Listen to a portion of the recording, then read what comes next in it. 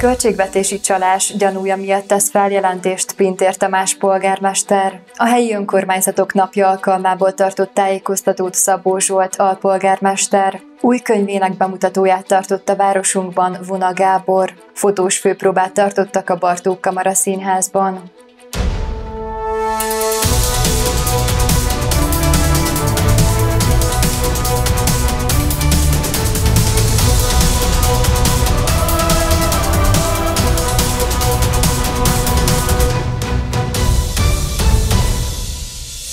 Köszöntöm nézőinket! Önök a Dunaújváros Televízió híradóját látják. Ma is elosztuk városunk legfontosabb híreit.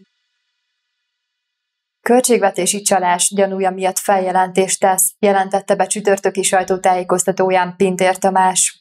A polgármester elmondta, véleménye szerint a Fideszes vezetés által tavaly februárban benyújtott másfél milliárd forintos hitelkérelemről Cserna Gábor nem adott megfelelő tájékoztatást, pedig a megvizsgált dokumentumok alapján minden információnak a birtokában volt. Cserna Gábor volt polgármester közösségi oldalán tett, tavaly novemberi bejegyzését idézte Pintér Tamás polgármester a szerdai tájékoztatójának kezdetén. Mint mondta, Cserna Gábor azzal vádolta az új városvezetést, hogy eladósítják Dunaújvárost. Nekünk kellett ugyanis döntenünk arról a hitelről, amelynek felvételéről még Cserna Gáborék 2019. februárjában döntöttek. De nézzük időrendi sorrendben az eseményeket. 2019. február 14-én az előző városvezetés és a fideszes képviselők döntést hoztak arról, hogy másfél milliárd forintnyi hitelt kívánnak felvenni. 2019. március 18-án Cserna Gábor az államkincstár felé tételes bontásban megküldte, hogy milyen munkákat és hogy mennyiért kívánnak elvégezni ebből a pénzből. 2019. május 17-én Cserna Gábor hitelkérelmek nyújtott be az OTB banknak, és ennek mellékletéről szintén tájékoztatta őket, másfél milliárd forintot milyen beruházásokra kívánják elkölteni. Ez eddig tiszta sor. Cserna Gábor ezt próbálta tavaly novemberben letagadni és a nyakunkba varni. Pintér Tamás polgármester emlékeztetett, Barta Endre akkor még ellenzéki képviselőként 2019. március 21-én, majd április 18-án is feltette a kérdést Cserna Gábornak, hogy mire kívánja fordítani ezt az 1500 millió forintos hitelt, végül azonban semmilyen választ nem kapott. A kölcsönszerződés még létre sem jött. Aláírásra nem került. Munkák nagyjából a felét akkor már mégis elvégezték, és kifizetésre is sor került. A törvények azonban Cserna Gáborra és a Fideszre is vonatkoznak.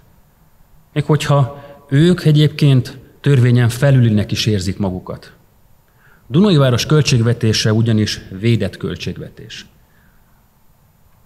amire vonatkozik a tájékoztatási kötelezettség, ez pedig Cserna Gábor elmulasztotta, amivel véleményem szerint többek között költségvetési csalás bűncselekmények minősített esetét valósította meg. A polgármester azt mondta, feljelentést fog tenni ez ügyben, majd az is elhangzott, hogy az új vezetés elkezdte törleszteni a hitelt, ami idén 270 millió forintjába kerül az önkormányzatnak. Arról szeretném tájékoztatni a városlakókat, hogy mi helytállunk, a hitelt újra tárgyaltuk, kedvezőbb feltételekkel tudjuk fizetni a jövőben, az idén pedig már 270 millió forintot vissza is fizettünk,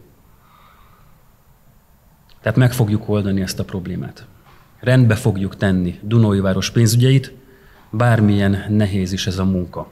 Pintér Tamás hangsúlyozta, bízik abban, hogy Polt Péter legfőbb ügyész ezúttal valódi vizsgálatot folytat majd le.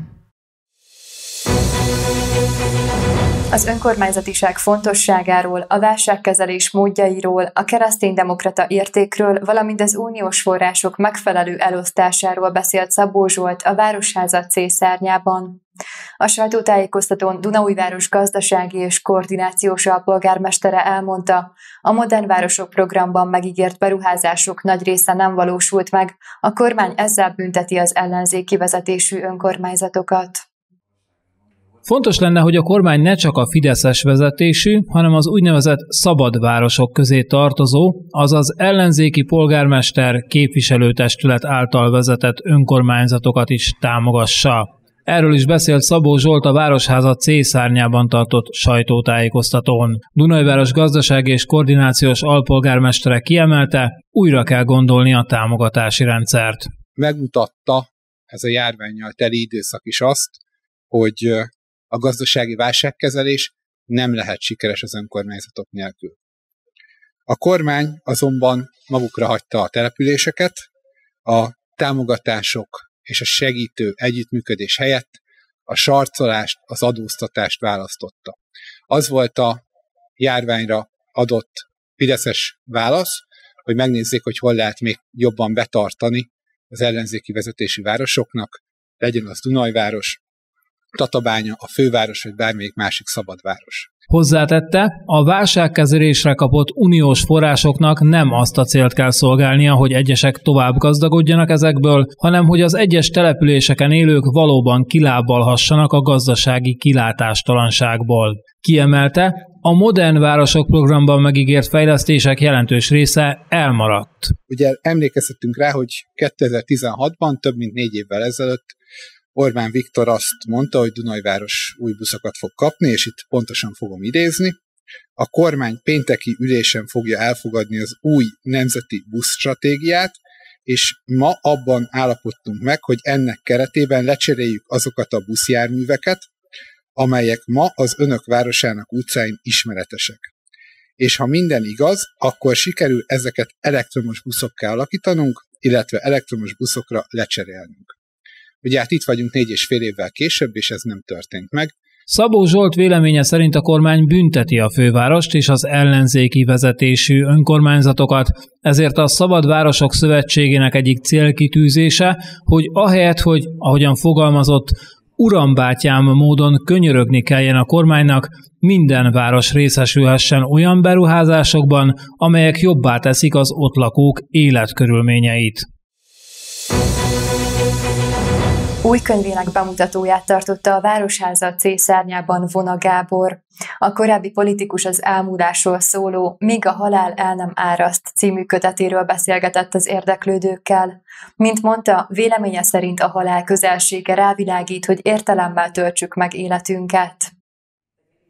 Szép számmal voltak jelen a látogatók Vona Gábor könyvbemutatóján a Városháza C szárnyában. Az eseményen a korábbi politikus számos filozofikus gondolatot osztott meg a jelenlevőkkel a kötet kapcsán. Mint mondta, az ember abban különbözik a többi élőlénytől, hogy tudatában van annak, hogy meg fog halni. Lényegében ez egy olyan mélyről jövő szorongásra kényszteti a homo sapiens amiből csak a kultúrával tud, eh, ami csak a kultúra segítségével tud megszabadulni tőle, és ebből nagyon sok minden következik.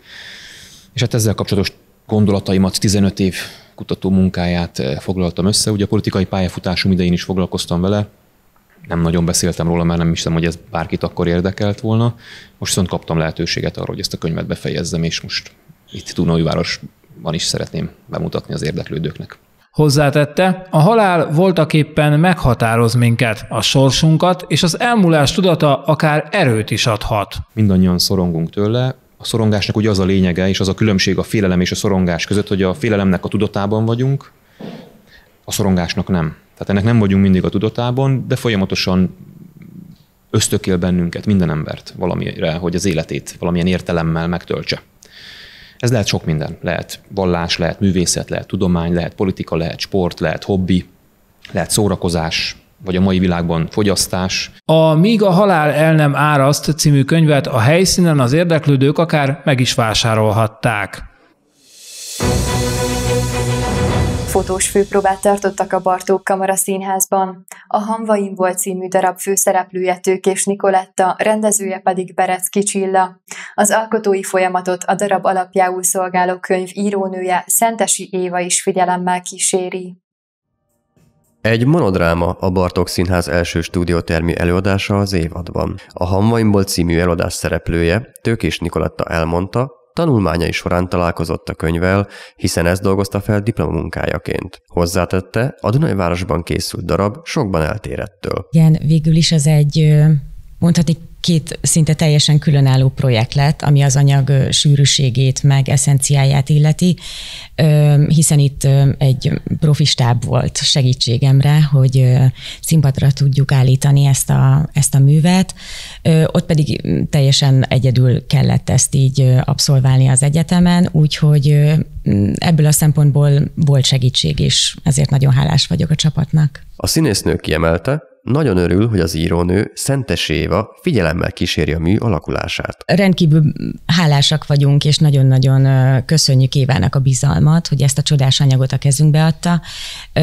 Mivel két különböző városban élünk, ezért nagyon sokat beszéltünk telefonon, messengeren, apró változtatások, ha voltak, akkor általában próbáltuk tájékoztatni, de szerencsénk volt, mert, mert nagyon együttműködő az Éva, és, és ez egy nagyon gördülékeny munkafolyamat volt így ezen a téren. Berecki Csilla rendező megosztotta a felkészülés folyamatát, és elmondta, rengeteg munkál mögöttük. Sokat foglalkoztunk az anyaggal, hónapokot, hónapokon keresztül igazából, mire eljutottunk a konkrét próbáig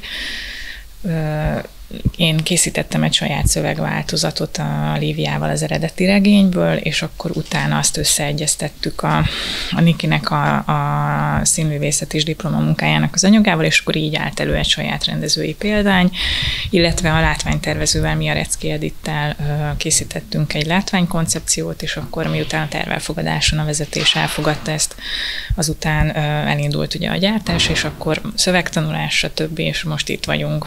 A Hamvaimból című darabot októberben még két alkalommal láthatják az érdeklődők a Bartok Színház stúdiótermében, október másodikán és 22-én este 7 órától.